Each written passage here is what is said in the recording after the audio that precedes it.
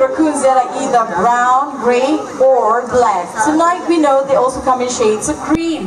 Well, you know what? A lot of people would think that toffee is an albino animal, but then albino animals would have red eyes. You are going to see in just a bit. This boy right here still has got a pair of beautiful brown eyes. Are you ready to turn around?